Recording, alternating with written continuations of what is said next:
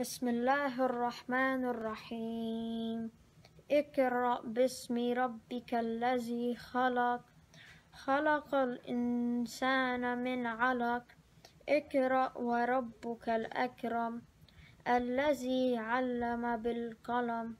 علم الإنسان ما لم يعلم.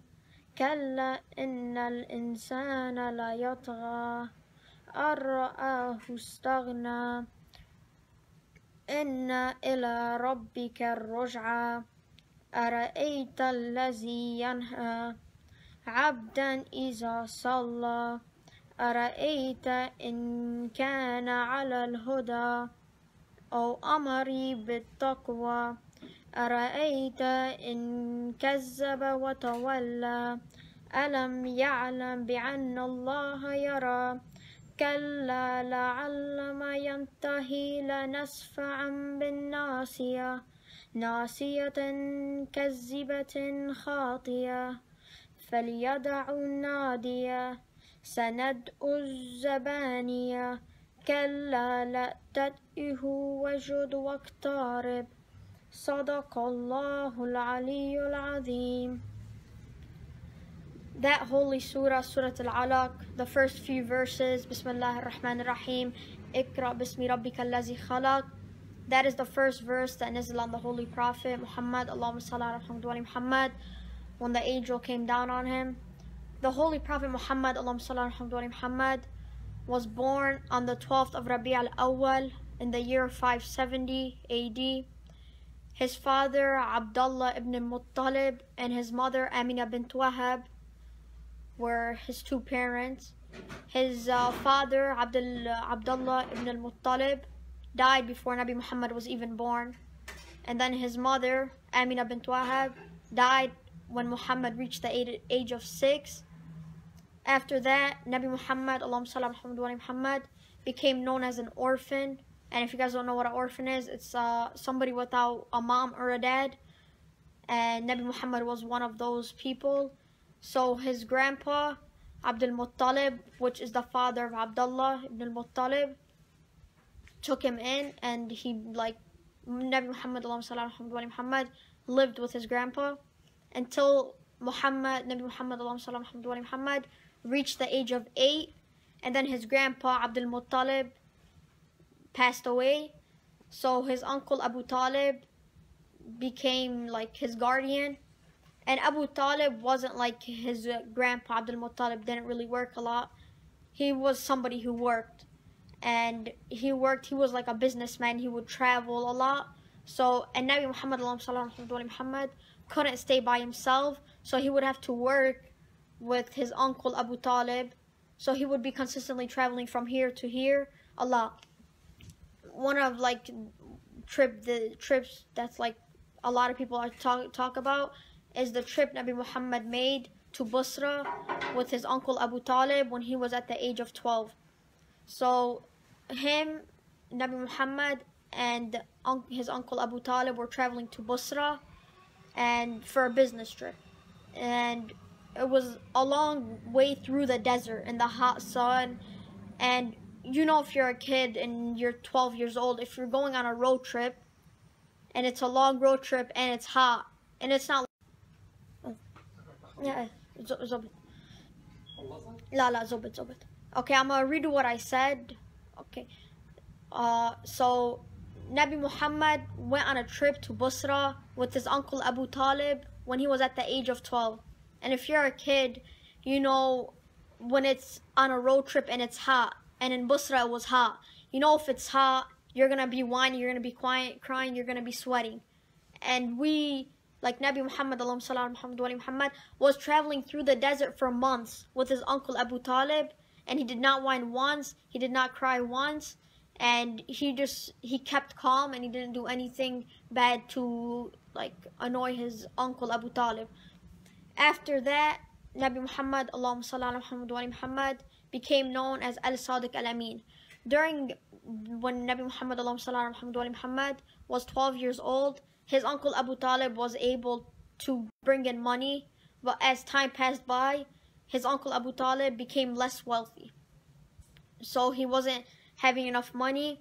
So Nabi Muhammad, Muhammad, had to work at his flock, like uh, with animals, with goats, sheep. He had to work there. He had to consistently be cleaning it. He pretty much most of his time was over there.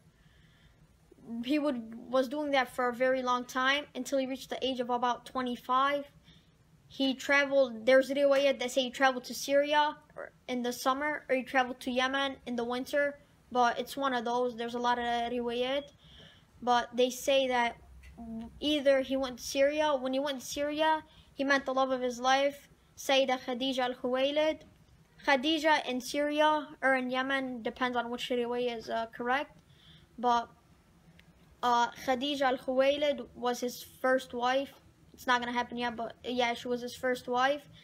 And Sayyidah Khadija was the most rich woman in Syria at the time. She had a business of her own. And every guy in Syria wanted to marry Sayyidah Khadija, but she declined all their offers. The reason she declined all their offers was because she married two people from before, and those two people died because of wars. So she didn't want to marry again and then be widowed by the person she marries. Until she saw Nabi Muhammad, Allahumma Muhammad wa. When she saw Nabi Muhammad, her eyes like like they started glowing. Like it's like a metaphor. Like that's how like how beautiful he was to Sayyidah Khadija. So, and she wanted a business partner that was very trustworthy. So she like went up to Nabi Muhammad and they were talking. So then Nabi Muhammad became her business partner at first. And Nabi Muhammad went on his business trip and Sayyidah Khadija sent someone on the business trip with Nabi Muhammad to see if Nabi Muhammad is trustworthy and like if he's like good and he's like loyal and he's good at business. Because like i said from before she wanted someone that was trustworthy for her business. So when she sent the nabi muhammad on the business trip she told the servant like keep an eye see what nabi muhammad does. So when the servant was nabi muhammad when he returned he said mashallah the nabi he's so gentle he doesn't hit like the others he doesn't yell at me he's so gentle and he said, surprisingly, the blazing sun was supposed to be shining on us, but for some reason there was sun on us. There was no sun on us. I don't know why, but there was no sun. It was all shade. We couldn't feel the hot blazing sun.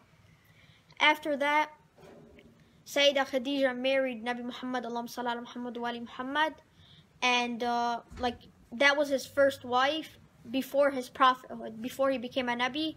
He has, according to uh, riwayat, there's some riwayat that say he has 12 wives, some that have 13. But Sayyidah Khadija is the only wife he had before his prophethood, so before he was 40. He married her about like 25, 26 years old is when he married her. And from like uh, the age 25 to 35, they were just living their life. And 30, when he hit the age of 35, this is when something extremely crazy happened.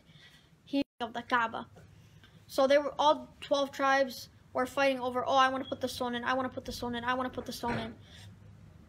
So an old man said, a wise old man said, we'll see whoever walks through that door next, we're to choose him to uh, see who puts the black stone.